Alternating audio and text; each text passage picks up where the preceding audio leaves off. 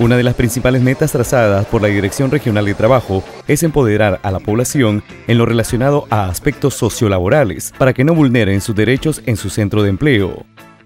Para ello, se impartió el taller denominado Relaciones Laborales, Negociaciones Colectivas y Huelgas en el auditorium de la Municipalidad Provincial de Huaura permitiendo a los asistentes conocer las nuevas actualizaciones jurídico-laborales. Muchos de nuestros, este, de nuestros empleadores como trabajadores desconocen sus derechos cuando existen estas negociaciones colectivas y entonces con los nuevos lineamientos, las nuevas modificaciones a las normas, hemos traído ponentes del Ministerio de Trabajo que el día nos acompañan para poder, se encuentran presentes todos los sindicatos públicos y privados que están participando, tomando conocimiento de los nuevos métodos para poder llegar a una mejor negociación. El funcionario regional también indicó que se tiene como reto situar a la región Lima en los primeros puestos en la lucha frontal contra el desempleo y el trabajo infantil, además de generar la formalización laboral en el ámbito regional.